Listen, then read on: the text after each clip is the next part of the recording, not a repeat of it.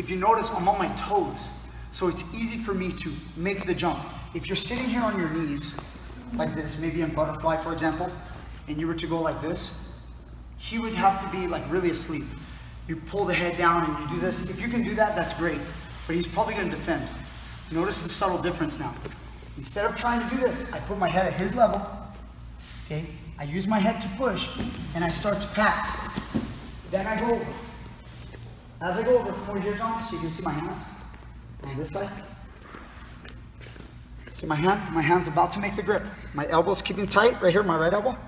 I make the grip, and then now once I'm here, I'm ready for the choke. As he tries to move or do whatever, I'm gonna start applying the force. I'm gonna finish right there. If he were to come and take me down and come on top, i am sorry. I'm sorry about that. I'll finish in the guard. Okay, like that. If he jumps to side control, I'll finish. So again, I'm putting some, I have the collar tie. I'm, I'm get on my toes and I'm trying to like pass the guard. Then I go over and I drop. If he comes on top, right here, it's all good.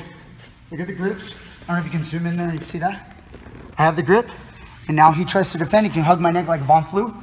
I squeeze and I get the choke. It's a very tight choke. Okay, they're all kind of variations. I do a lot of these.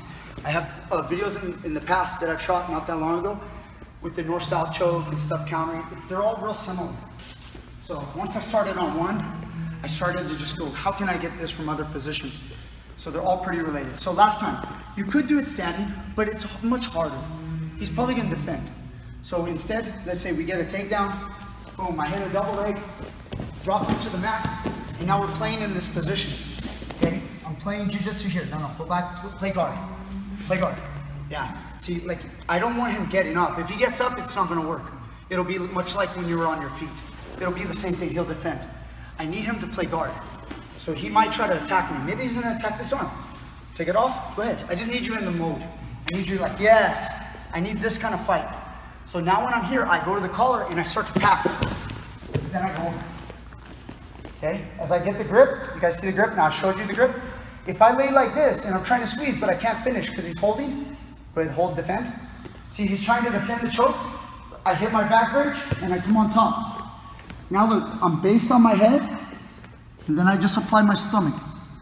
My stomach comes down and I apply the force. Okay? Just like so.